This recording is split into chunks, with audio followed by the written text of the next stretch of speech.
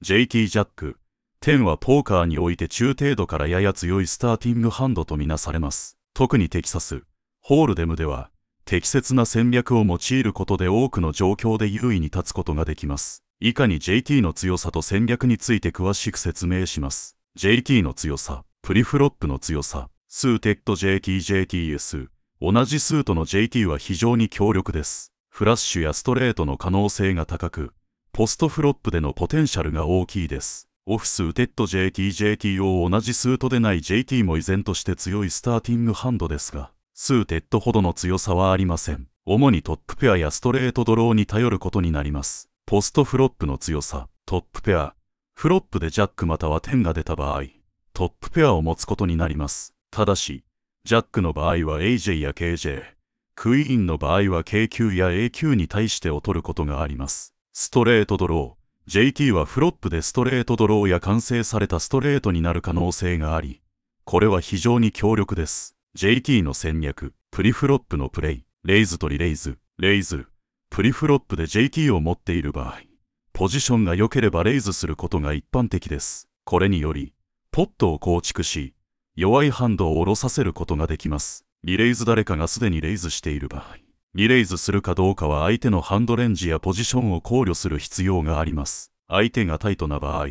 リレイズを控えることもありますが、ルースな相手にはリレイズを積極的に行うことが有効です。コールドコール、プリフロップでレイズに対してコールドコールすることも一つの戦略です。これにより、ポストフロップでのプレイを優位に進めることができます。ポストフロップのプレイ、フロップでのアクション、トップペア、フロップでジャックまたは10が出た場合、トップペアを持つことになります。この場合、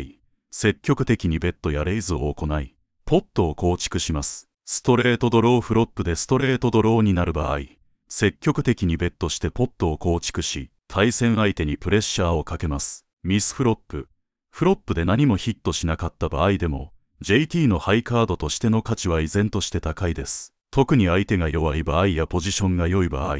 コンティニュエーションベッド C ベッドを行うことが効果的です。ターンとリバー、ベットの継続、フロップで有利なハンドを持っている場合、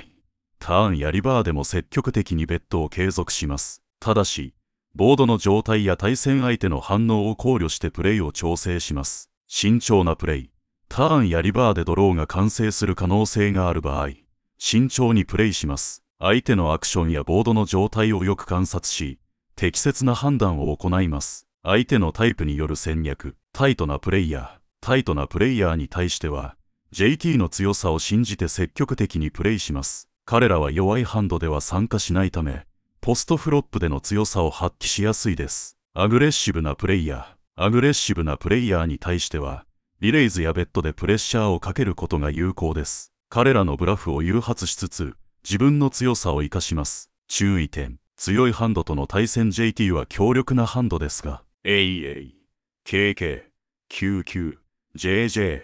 AK、AQ、KQ、KJ などの強力なハンドには劣ります。これらのハンドと対戦する際は慎重にプレイする必要があります。オーバープレイのリスク。JT は非常に強力ですが、無謀に大きなベッドをし続けることは避けるべきです。相手のハンドレンジやボードの状態を常に考慮し、適切な判断を下します。読みとブラフ。相手のプレイスタイルや行動をよく観察し、適切にブラフを仕掛けることも重要です。特にアグレッシブなプレイヤーに対しては、ブラフを読んで適切に対応することが求められます。まとめ。JT は中程度からやや強いスターティングハンドであり、ポストフロップでも多くの状況で優位に立つことができます。しかし、その強さを最大限に引き出すためには、適切な戦略と状況判断が求められます。プリフロップでのアクションやポストフロップでのベッティングを工夫することで、ポーカーの勝率を大幅に向上させることができます。特に強いハンドとの対戦や相手のプレイスタイルに応じた柔軟な対応が成功の鍵となります。